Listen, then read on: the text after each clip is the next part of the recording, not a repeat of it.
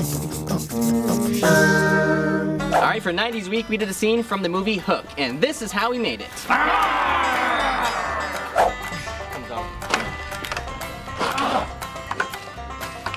All right, so this is a homemade movies first to have the actual actor playing the role that we're recreating. Looky, looky, I got hooky. Man, you're good at this role. Yeah. So this is the actual sword from Hook, one of the pan swords. This shoot's gonna be off the hook. You don't know what I'm saying? yeah. See what I did there? I don't get it.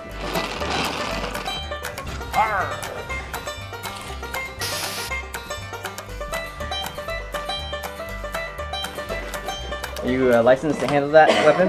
Uh, I don't know. Yeah, those are I'm only 14. Uh, we're gathering all the Lost Boys out in the driveway right now. Craziness going on. Whoa. See that? well, it's 90s week here on Cinefix, so we did a scene from the movie Hook, which we were all big fans of growing up. We love this movie, so it was a huge honor to have the real actor who played Rufio in the movie play Rufio in our homemade scene. His name is Dante Basco, and he was a great sport to come get dressed up and reprise his role as Rufio. Since we have real Rufio, Yeah, let's we see decided this. let's go as homemade as possible. What is going on? We started with the black base. It was just a black sweatshirt that we cut. Rufio in the movie has a bunch of little bones attached to his outfit, but we went with just plastic spoons. We didn't paint them or do anything. We just glued them right on. awesome.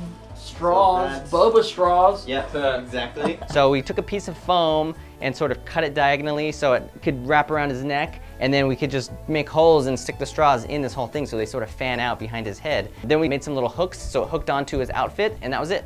I've never seen it done like that, but it's awesome. And for the wig, we decided to just make it as authentic as possible. The outfit is very homemade, but the wig is just gotta be awesome. Basically, we just hung it upside down in just tons of hairspray, mm-hmm. and then spray paint and spray adhesive. So it's probably the most elaborate wig we've ever made, but this was going on the real Rufio, so we wanted to make him proud. He's back. It's official, ladies and gentlemen. Rufio is in the house. So putting this whole outfit together, knowing that the real actor was gonna be wearing it was crazy. He's reprising a role that he did 20 years ago, and seeing him put it on for the first time was a very surreal experience. I think most of all for him. You're having flashbacks right now. Weird. this is very strange. But he seemed to enjoy it, and he loved the homemade aspect of it. I'm honored to be the first actor to reprise a role. And I just love the spoons.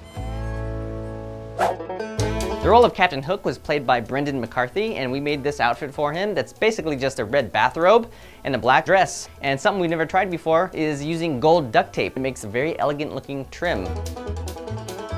Reminiscent of Hoffman, you know? yeah. And the same goes for the hat too. We just had a regular kind of gardening hat and painted it black and then pinned it up in the right places. For the feathers and stuff, we just used some white yarn, lots of little pieces of white yarn and just taped it all around the edge. Captain Hook, of course, has a hook for a hand. This is just your basic toy hook. Ooh, it's nice bounce to it there. Nice and springy. Nice. And then he's got a mustache, which we just used a cheap mustache, and we added a little bit of wire so it has that little curl that he has. For the character of Jack, which is Peter Pan's son, he's also wearing a Captain Hook outfit, but he kind of stands in the background the whole time. So we just made like another version that wasn't quite as fancy. We didn't have another curly wig, so we just used a black beard. We're switching Jack into the fancy um, Captain Hook outfit um, for his close-ups. The role of Peter Pan is played by my friend Will, and it's a pretty simple outfit. We bought two green t-shirts that were slightly different shades of green. We cut one of them to kind of just be the top layer. Then there's another layer underneath. Dorothy Frog here. And then Will has blonde hair, so we just sprayed it brown. And uh, he pretty much looked like Peter Pan. Cramp. God. He's not as flexible as he used to be. Oh, well, that's the whole story, isn't it? No, it's good. You're getting into your method. So once the costumes were complete, it was time to build our pirate ship set. Hoist the sails. which is really just the side of my house that we decorated to sort of look like a pirate ship. Lots of ropes and sheets, and uh, Ben made this fancy cardboard railing. We got this bell, which you see in the background. Up close, it's kind of cool. It looks like random pirate ship, but when you look back at the whole thing, this is just the side of my house, and got a lot of strange looks from the neighbors. It's live. We're live. Yeah. All right, so once everyone was in full costume, we went out into our pirate ship and just started knocking out these shots.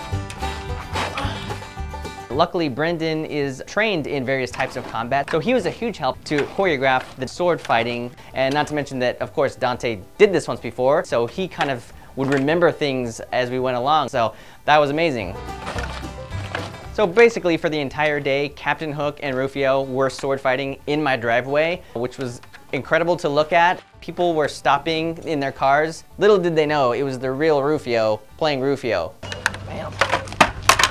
We'll get that. We'll get there. Yeah. Whoa!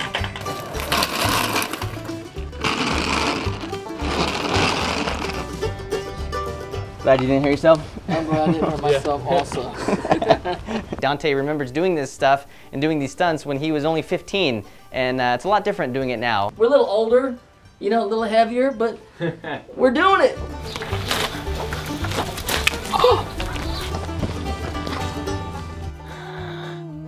I wish I had a dad like you. We were all um, reliving this horrible tragedy from our childhoods. Um, watching Rufio die was not a pleasant experience for any of us, and so it's a somber mood here on the set today. Very moving.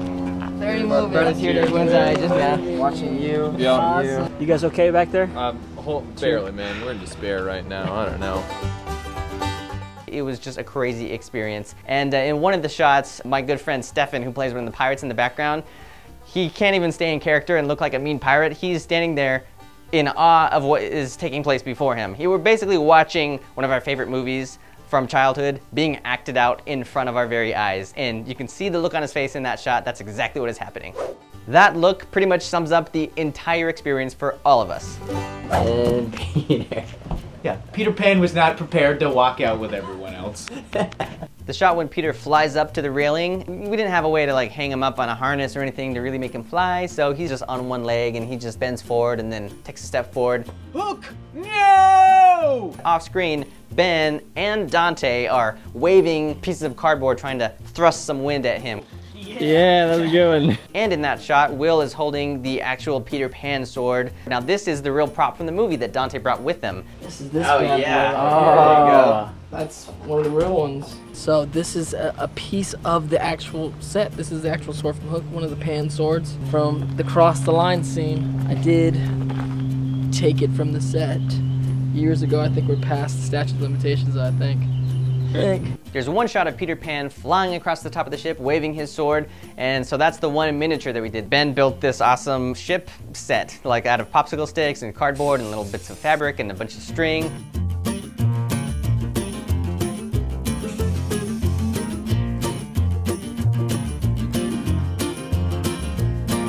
So to fly Peter across, he's just attached to a wire, and then there's a separate wire attached to his arm so that he can wave his sword back and forth. And then he just flies from one side to the other.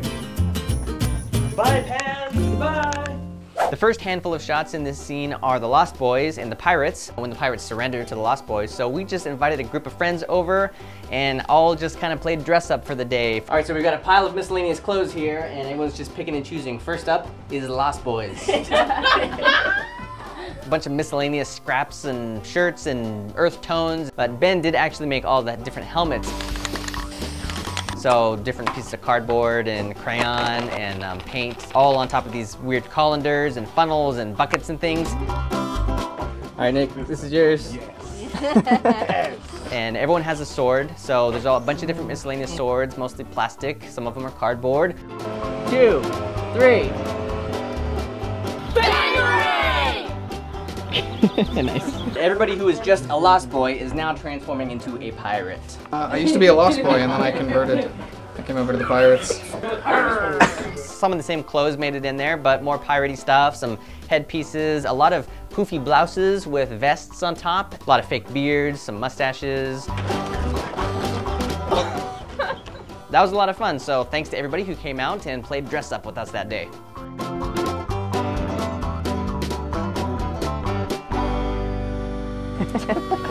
and that's how we made it. Whoa, all right. There it goes. Here we are, first casualty of the day. You have a wristwatch on. Peter. Peter. Detail. This is Neverland, man. There's no time in Neverland. You guys are jerks.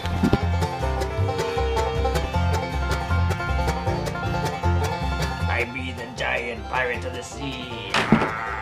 Raping, pillaging, plundering, you know. Hey, wait for me! Yeah, that's awesome.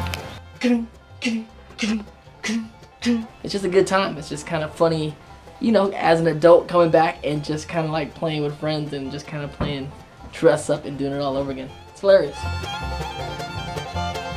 This makes me like homemade Steven Spielberg, right?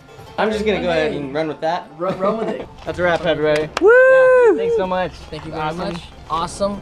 Part of the homemade movies family. We did it. Great. That's it for Lost Boys. Yeah! Woo! He's trying to steal more props. Oh, You were just gonna walk right off with those, weren't you? I know. Ah, see how it it's is. the new. It's the new look, man. All right, well, thanks for watching, and a special big thanks to Dante Basco for joining in the original Rufio. It was so awesome having you on board. You can check out his YouTube channel uh, on the link and see what he's up to. And thanks to everyone else who joined in. It was great having you guys. And if you subscribe to Cinefix, you can see new episodes of Homemade Movies every other Tuesday. Sure hope you'll be hooked. That scene was really off the hook. I really think we nailed that one. Hook, line, and sinker. If you subscribe, we'll hook you up with new episodes. Ah, I got nothing.